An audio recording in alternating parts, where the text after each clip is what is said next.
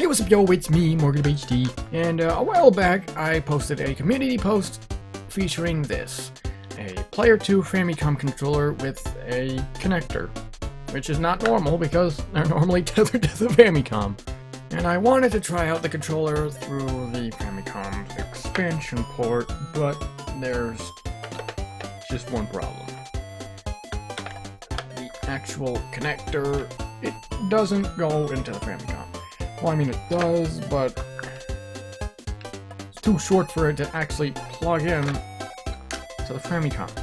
Which, thankfully, I have found a fix for that. Um, right here is the Raphnet Famicom to NES controller adapter. Um, now, what this does is that it converts Famicom controllers to the NES. Or I guess in this case, the AV Famicom even though it already uses Famicom controllers through the expansion port. That is tight. And what I can achieve through this is, well, yeah, it does, doesn't fall out or anything, it just stays there. Now you might be wondering how I actually got this controller to work. And uh, what I did is that I wired all the pins to this terminal connector that I bought off Amazon.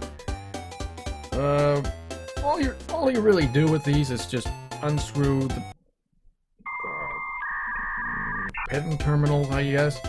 Stick the wires in, rescrew them, and there you go. You got yourself a wired controller. I'll put up a pin diagram in case you're interested in trying this out. But that's not the point. What I wanted to try was was using my Player 2 Famicom controller on the AV Famicom, and uh, I actually tested this on the NES too, but I don't really have any games on the NES that use the microphone. But that's what my EverDrive is for. Yeah. But without further ado, I'm gonna hook this, uh, this thing back to my setup and then try it out and see if it actually works. At first I wanted to try Mario Brothers, which I have on an NES cartridge, and when I plugged in the Player 2 controller I was able to control Luigi well. However, even though I was holding the Player 1 controller, Mario suffered a lot. Sorry Mario. After that I wanted to see if the microphone worked too, so I booted up the Famicom version of Legend of Zelda, which no, I don't own yet, but after this video I will buy the disc, and maybe the actual disk system too. Unfortunately, when I got to the area in level 5 where you make the noise in the microphone to defeat the Pols Voice, I kept repeating the Skyrim reference in the mic and nothing happened. What a shame too, because it would have been pretty funny. Oh well, worth a try. After that, I tried it with an actual NES, but that came out with the same result. Still worth a try though. Fish Overall, I think the idea of using my Player 2 Famicom controller on the AV Famicom actually turned out pretty good.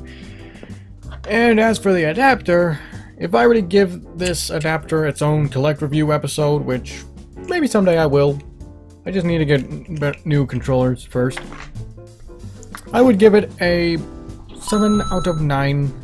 It does as advertised, and it really did well for the Famicom Player 2 controller. Speaking of, uh, if anyone can get this to Raphnet Technologies themselves, um, maybe you can ask them to add the modded Player 2 controller with a note saying that the microphone does not work. Anyway, I think that's gonna do for now. So, anyway, if you enjoyed this video, make sure to like, subscribe, comment, click the notification bell if you like. And that's all you gotta do, so... Goodbye.